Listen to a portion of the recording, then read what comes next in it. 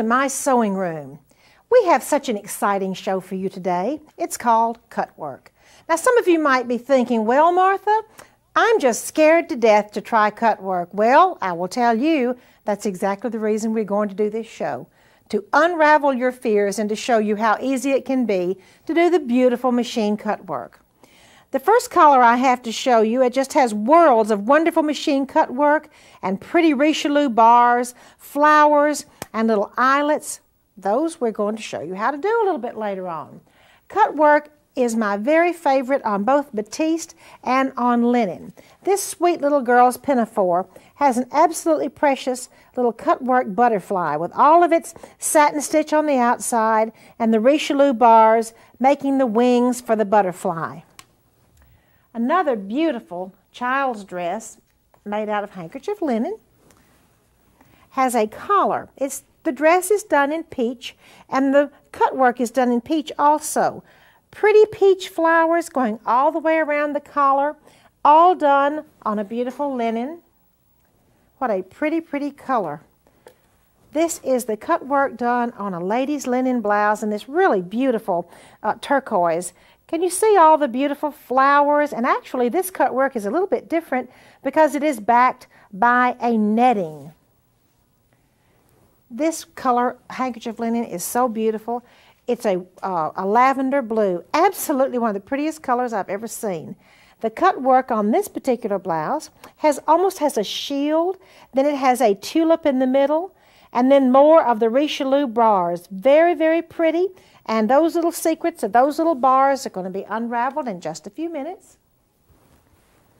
The last one we have is in a beautiful marine blue, a scoop neck blouse with tulips and, and almost looks like flowers and shapes, Richelieu bars, all of the wonderful tricks of cut work.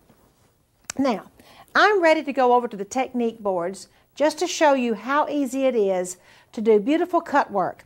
And with this explanation and this show and just a little bit of practice, I believe you'll be ready to do beautiful cut work also.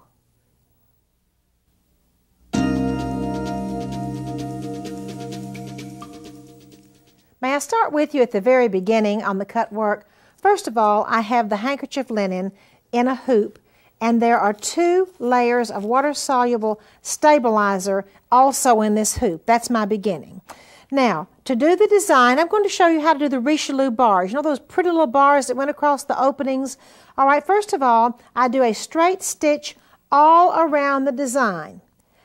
Next, I go back and right on top of the straight stitching, I do a zigzag right on top, all around of the straight stitching. So I've done a straight stitch and then a zigzag. The next step is to come in and cut away the fabric only. Do not cut away the water-soluble stabilizer. It is still behind there. Cut away the fabric only. The next step, I go across, straight stitch across, and then literally jump my thread over. I don't stitch on the water-soluble stabilizer. Just take it and walk it over. Take a little stitch, walk it back. Now let me show you. That's the third, the fourth step. Now then, this particular illustration shows that you walk it over once, you walk it over again. You take a stitch. You walk the thread over again, take a stitch. Two or three times you walk it back and forth. In other words, to put some bars over. Next, I come back, and simply do a satin stitch over those walked bars I've just made. I satin stitch a one time down. You don't go backwards and forwards. You simply start at the top and satin stitch one time down over the walked bars, and that makes the Richelieu bars. This particular hoop illustrates bar, Richelieu bar, Richelieu bar, Richelieu bar, Richelieu bar. In other words, you do that same process over uh, on each one of these Richelieu bars. After finishing the Richelieu bars, then the last step is to simply satin stitch all the way around the design and therefore it is finished. Now that is the basic steps of the Richelieu bars and the cut work. I'd like for us to go over to the sewing machine now and I've invited my dear friend Louise Baird to demonstrate for you at the sewing machine exactly how it is, how easy it is to do cut work. Welcome to the show, Louise. Thanks, Martha. I'm glad to be here. Um, just like you said, I thought when I first began uh, cut work that it was really difficult, but the difficult part was I learned how to do it with the free motion, meaning no foot and feed dogs down. But once someone showed me how to do it with the feed dogs up and the foot on, it became a lot easier. Uh, repeating some of the steps that Martha uh, gave you a minute ago, I first trace my design on top of my linen and layer it with anywhere from two to four layers of Solvy uh, behind it, depending on the thickness of your fabric. Place it in a hoop and then stitch around the design with a short straight stitch. The short straight stitch helps to keep the opening from stretching later on when the Solvy is gone. On top of the straight stitch, do a zigzag. The zigzag will keep the fabric from pulling away from the stitching once you cut out the opening. Now then the fabric in the opening is cut away, leaving the Solvy. And I like to use an applique scissors so that I can get close to the stitching without cutting the stitches. And you can see here, the neater that you are at this time, the neater your satin stitching will be later on when you finish. To do the satin stitching, I'm going to just begin by taking one stitch with a straight stitch and pulling up my bobbin thread. If you have a needle down button, go ahead and engage it. Take some tie-on stitches, which are just short straight stitches. And then to do the bar, um, is really pretty easy. If you will lift your needle out of your fabric, lift the foot, and then just drag it over. I call this a walk stitch because I'm not really sure what else to call it. so I just take a walk stitch or drag it across and take the stitch beyond that zigzag stitching that I took earlier. So all you need is one stitch in the fabric and then lift your foot and go back again. You can do this really as many times as you want to. The more times you do it, the thicker the bar is going to be. When you're doing these stitches, remember to always stitch, put that uh, extra stitch beyond the stitches that you have created with the tiny zigzag stitch. Now after you have gone over the bars as many times as you want it to go over it, then you have to satin stitch it. The straight stitches really wouldn't uh, hold very much as a bar. So then I turn my foot around and now I'm going to satin stitch with a zigzag. My zigzag needs to be wide enough to cover the, the uh, walk stitches that I placed over it. And also, the satin stitches is only within the opening. It's not on the fabric right now. It's only on the Solvy instead of the fabric. This is a satin stitch, so my satin stitch length is set, and I'm wide enough to cover the walk stitches. And also a little secret is if you walk it an odd number of times and then satin stitch, you end up where you started. Oh, that's a good idea. Again, you want to stop before you get into the fabric. You would complete as many bars as necessary that uh, you have in your design. After you've completed all of the bars, then you can satin stitch around the design. With, when you do the satin stitch around your design, I usually make my width a little bit wider. It needs to be wide enough to cover up what I've already stitched as well as the raw edges that uh, are here. So to do this, now I am going to readjust my position and satin stitch so that I'm going completely off of the fabric and into the Solvy on the right and then onto the fabric covering up my previous stitching. And that's really all there is to cut work. It's really, like I said, a lot easier than when it was when I first learned how to do it with free motion and a darning foot. Well, Louise, that is absolutely fascinating. Now then, let me just ask you one more time. You did you went across how many times on that on the um, I went up, went up, I always go across uh, anywhere from three to seven times, depending on how big your opening is and how fat your bar wants to be. Okay, what was that little magic trick about the odd, about the when you use odd, numbers. odd numbers? Okay. Well, if you start on the left side and you go to the right, okay. When you go an odd number of times, One, you go completely, you know, across an odd number of times so that when you satin stitch, you end up back where you began. Louise, thank you so very much. Thank you. Okay. You know what I'm going to do? Come on back over to the boards with me. And I'm going to show you our blouse of the series, which has a lovely cut work. And then I'd like to go over one more time the techniques, just to say it one more time to show you how easy cut work is. This lovely Australian blouse, again, this is our ladies pattern in this particular series has a beautiful cutwork design. It all, you know what, if you look at this, it almost looks like a little clown face or something with two eyes and a nose and then a mouth and some teeth. Well, I'd like to take you over one more time exactly how easy it is to do this cutwork. By the way, isn't that pretty with the gold thread on the white linen blouse? One more time, let me show you this interesting blouse with the raglan sleeves and the center panel. This is our blouse pattern of the series. Let's start at the very beginning this little face. First of all, the design is drawn on a piece of paper. Then I take, in this case, my handkerchief linen, put it down over the design and trace it off onto the handkerchief linen. That's step number one. Step number two, take a hoop. Now, my handkerchief linen is the top piece. There are two pieces of water-soluble stabilizer that are in behind the linen. That's absolutely necessary for cut work. So I put those three pieces into the hoop and move on to the next step, which is my first sewing step. All right, I'm going to straight stitch all around the outside design, all the way around it. Here, all the way around the little, uh, little teardrops or the little eyes and the little nose, and all the way around the outside of the design. I do not straight stitch over those little bars. Leave those unstitched. The next step involves a little, a little zigzag, not a satin stitch, just a, kind of an open zigzag, but a little bitty skinny one. Over all of those lines I straight stitched. Let me take my hand around here. Those lines that were straight stitched all the way around here, around the little teardrops, and the last place you would zigzag would be around this little piece right here. Once again, do not stitch over these little bars. Those will be the Richelieu bars and we'll make them a little bit later. Okay, you've straight stitched and you've zigzagged.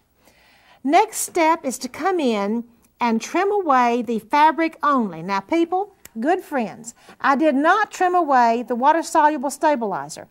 I just trim the fabric only. Here are the little teardrops. I do not trim away the water-soluble stabilizer, only the linen pieces. Okay, I've pulled, I've trimmed those away. Moving on to the next step, since the teardrops do not have Richelieu bars in them, I'm ready to finish the teardrops. So I will go ahead and satin stitch all the way around my teardrops and whatever my final stitching will be, and those three teardrops will be finished. Now, what I really have left to do now, I've got to get those Richelieu bars back in place. Do you see those little lines coming out on the side? That's where I'm going to know where the Richelieu bars will be. All right, I come back, come back in here and walk stitch. As Louise was telling you earlier, I stitch over and go back and forth and back and forth and back and forth an uneven number of times. That gives me my the beginning of my Richelieu bar. Moving over to the next hoop, after I make a Richelieu bar, I go in and zigzag or satin stitch real tightly one time only over each one of those Richelieu bars, and that finishes up my Richelieu bars. Okay, I come in all the way around. I put it, see, I've got two more Richelieu bars to do right here. And then the final step on this beautiful cut work is to go back and satin stitch all the way around the outside edges that have not already been satin stitched. In other words, I'll have to come up around here and finish it. Now that is the step, and that's the, those are the steps rather. Absolutely nothing to it once you practice just a little bit. We have a beautiful quilt square for you next, which you might have guessed also has cut work.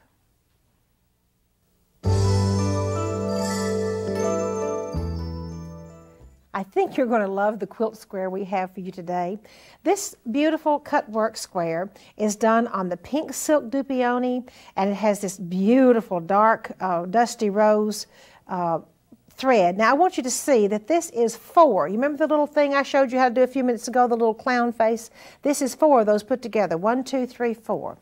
I have a little trick to show you since you've already learned how to do cut work. If you have a piece of fabric that you're going to do the cut work on top of and you can't see through the fabric to draw your design on, simply put your, uh, draw your design on a piece of water-soluble stabilizer. Put one on the front. Now you know you have to have water-soluble stabilizer on the back also. But if you can't see through your fabric, simply trace it on a piece and put water-soluble stabilizer on the front also. After that is finished, come back in, work on all the different pieces, and in the case of this quilt, we have a piece of white silk dupioni that is on the back to line it, so you can look th right through the pink on the front and see how pretty it is. Next, we have an adorable little doll dress, and guess what? She has a little bit of cut work on her dress also.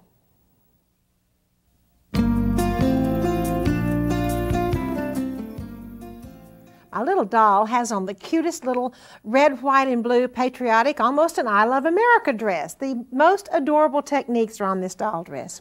First of all, she has a cute little cut work collar done in handkerchief linen with the little teardrops and the little scallops or scallops around the edge. Look at this treatment on her little sleeve. You'll just come over here with me. This is a sweet little band around her sleeve and a little bit of uh, tight satin stitch at the top and tight satin stitch at the bottom. That would be precious on a child's dress too.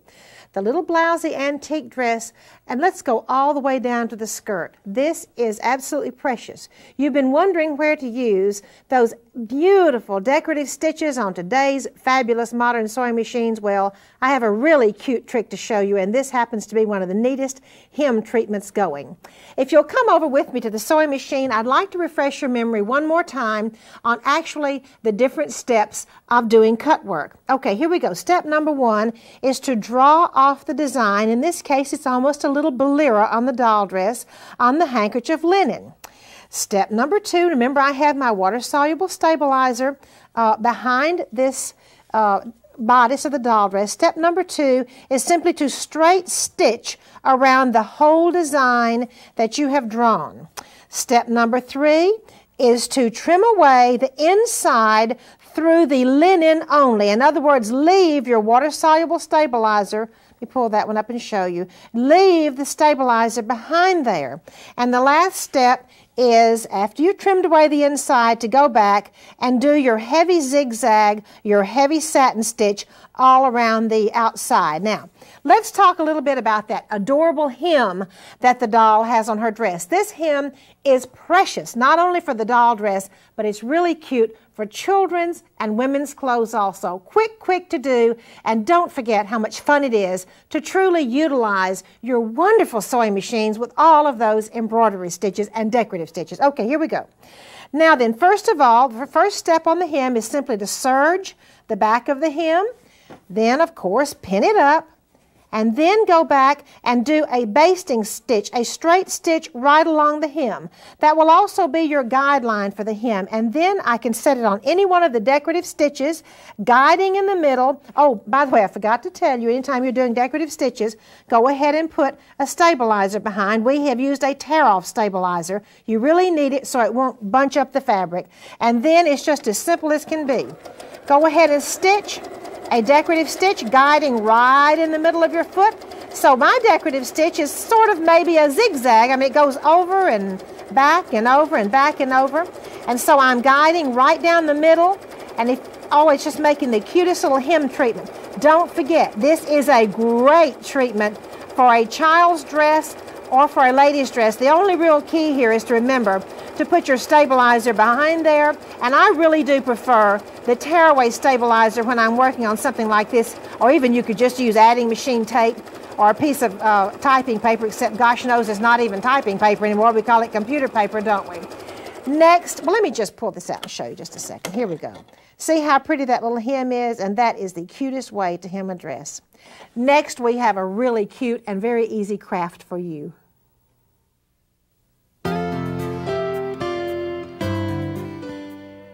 This little craft takes about a jiff and a half to make. The little cherry tree is purchased as a topiary tree, and as you can see, we've done a little trim on it, put a beautiful gold bow. Let me just show you how quickly it is to make this. The little purchased tree comes just like this. To use, to put some gold and some, some in it, just get a little bit of gold grass at your craft store, and we actually have a little bit of this gold grass. You pull it off and put it up in here. Now then, before you do all of that, if you would like to decorate the pot and make it darker, this is a sticky back fabric you can buy at your craft store. So you just cut it and put it around the base of the pot. After you do that, you use a round doily, a Battenberg, pull it up all the way around the pot, and here's a little gold um, thread that you tie it with, tie a little bow, and then use your wider uh, bow. This is awfully pretty gold mesh, all wired on the edge. Tie that up, and then you have a cute little craft or a cute little gift to give to almost anybody that you want to give just to something a little bit special to. Next, we have a beautiful pillow for you.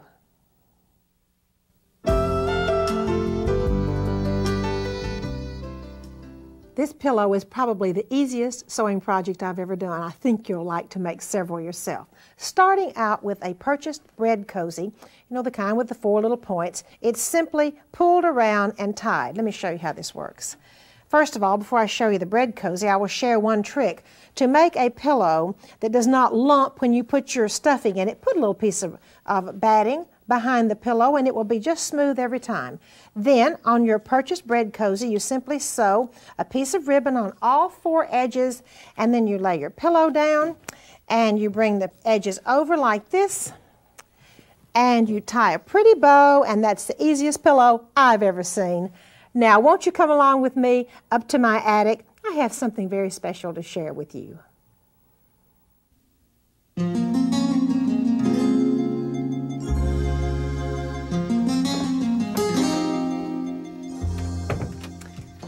I have the prettiest ladies' dress to share with you today. It has even a little bit of cut work, believe it or not, on this turn of the century dress.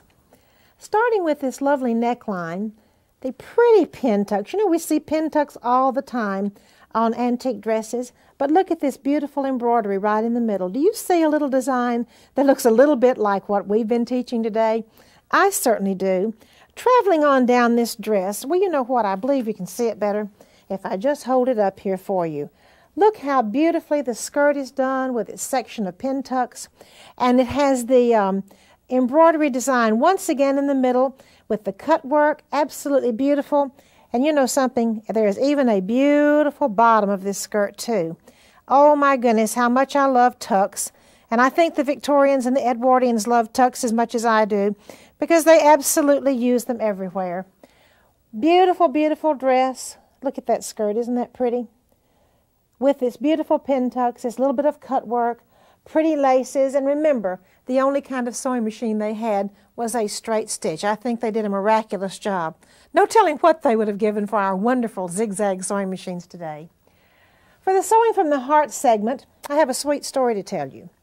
There is a group of people in um, Huntsville that make these little felt stockings for the babies that are born at Huntsville Hospital to come home in all during the month of December. In other words, when mom and dad take their little baby home, as big as babies are today, some of them might have trouble fitting in this stocking. But do you see the little angel that is uh, on there? There's a group at Huntsville Hospital called the Angel Organization, and they have a little angel uh, glued on there, I might add, and they put the little bouncing baby in this red stocking, and they put this little hat on the baby's head, and mom and dad get to take their little Christmas present home in this absolutely adorable little stocking. That might be something you might want to check with your hospital. It's such a nice treat, and this organization enjoys this kind of sewing for volunteer work. I thank you so much for being with us today. We've had a wonderful time sharing the tricks of cut work with you. I hope you think it's a whole lot easier than you did at the beginning of the show.